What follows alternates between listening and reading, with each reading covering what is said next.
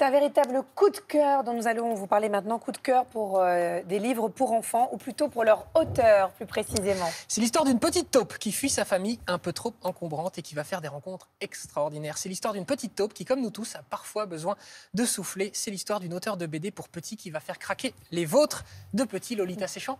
Bonjour. Bonjour, Lolita. Et merci beaucoup d'être notre invité dans la Maison des Maternelles. On parle ici souvent de littérature jeunesse et là, c'est un coup de cœur partagé pour, de, de la part de toute l'équipe. Tout le monde devrait rester tranquille près d'un ruisseau et écouter. C'est aux éditions Actes Sud Junior et également une échappée de Bartok Biloba.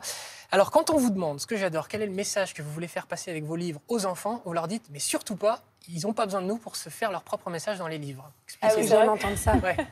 Enfin, en fait, on m'a surpris avec, on m'a surprise avec cette question et effectivement, je ne crois pas que les enfants aient besoin de, de nous pour expliquer. euh, ils trouvent le sens tout seuls, en fait. Parce qu'il y a plein de livres qui sortent pour dire, voilà, ce livre va aider vos enfants à comprendre le principe de la solitude, de la tristesse, des émotions. Vous vous dites, non, il ne faut pas les prendre pour plus bêtes qu'ils ne le sont. Bah, je, après, je suis pas une experte. Je vois juste les enfants autour de moi et qui semblent trouver du sens à plein de choses. Et, et après, pour pouvoir leur faire passer un message, il faut soi-même comprendre ce qu'on veut faire passer comme message. Moi, parfois, c'est très instinctif et, et j'ai pas quelque chose de didactique en tête. C'est juste des sensations aussi. donc, euh. Euh, oui, c'est Claude Ponty qui raconte que les retours qu'il a des enfants sont jamais les mêmes que ceux de- des parents. Vous-même, vous avez des retours d'enfants qui vous lisent et qui ah, et vous vous dites, bah, tiens, c'est pas du tout l'idée c'est la première que fois que je fais ça. Donc, euh, je commence tout juste. Là, j'ai fait des lectures avec les enfants et c'est très surprenant. Ouais. parce qu'il n'y a vraiment aucun filtre.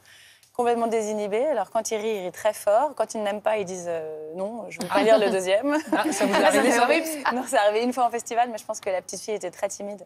Et on lui a lu euh, Ah, ça doit être ça. Mais euh, non, non, c'est génial. C'est vraiment, euh, ils, sont, ils sont très rigolos et ça change du public adulte qui est évidemment beaucoup plus filtré.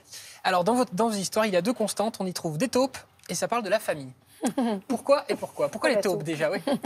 Et je ne sais pas. C'est une Si, passion si. que vous avez. Alors, j'avais la passion des taupes quand j'étais toute petite. Ah bon, vous avez Euh, une passion pour les taupes Et oui, allez taupes. comprendre. Alors, ne demandez pas au psy J'ai une phobie pour les taupes. Il faudrait qu'on discute C'est vrai les deux. J'adore les gens qui ont des phobies.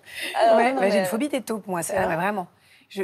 Ah si, Bon, j'ai plein de taupes dans mon jardin. Ah oui. Ah bah moi j'en Ah croise oui. tout le temps dans mon jardin. Je vous assure. Enfin bon, bref, on en parlera des Alors, taupes plus tard. Oh là là. Après, euh, je sais même pas si elles ressemblent encore à des taupes. En fait, les gens parfois me disent ça. euh, même les libraires se demandent si c'est vraiment des taupes, des ours.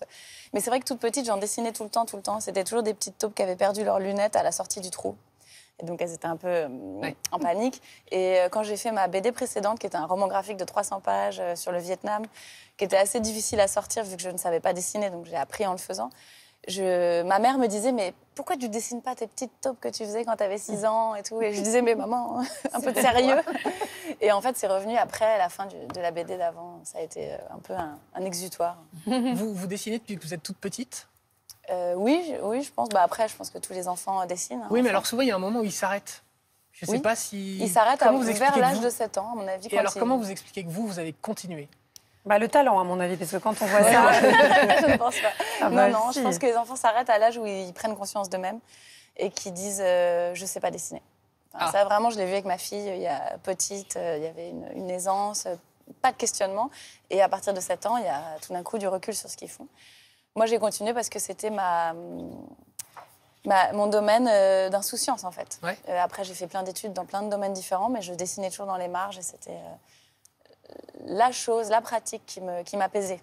Alors, vous- avez parlé de votre maman. Votre euh, papa, c'est le chanteur Renaud, que l'on connaît tous ici. Alors, on se dit, mais peut-être qu'on se trompe, que vous avez baigné dans un univers artistique et peut-être que vos parents vous disaient, vas-y, continue, etc. Là où d'autres parents. Je me fais un film. hein. Après, vous me dites si j'ai Là où d'autres parents, bon, on les encourageront peut-être un peu moins à être créatifs.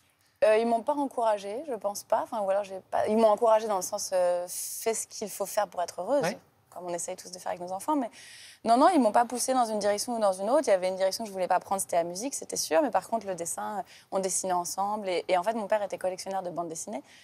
Donc j'ai grandi au milieu de cartons, euh, dans un, au début un tout petit appart avec des Il- cartons partout. Ils C'était, collectionnaient les Tintins, m'a-t-on dit? Euh, toute la BD franco-belge, euh, de Calvo à Tintin, en passant par. Enfin, voilà, c'était euh, euh, sa vraie passion. euh, Et il n'y avait pas la place, donc ça croulait. euh, on était, on était cachés sous les BD. Caché sous les BD de, de Tintin. Euh, vous avez par ailleurs fait votre scolarité dans une école Montessori. Oui. Est-ce qu'avec le recul que vous avez aujourd'hui, c'est quelque chose qui a été pour vous justement vecteur de, de création? Ça vous a encouragé à, à continuer? Je pense que c'est un tout et que effectivement la technique Montessori laisse une liberté à l'enfant et que surtout elle apprend à l'autonomie. Enfin, elle amène à l'autonomie et c'est vraiment le mot d'ordre. Et, et- et c'est ça Mm. qui, moi, qui m'a apporté des choses. On laisse, voilà, si un enfant a des aptitudes, bah, on va l'encourager, mais ça sera un système génial à adapter dans tout- toute école publique. hein. L'idée que ce soit que privé, c'est évidemment un peu rageant.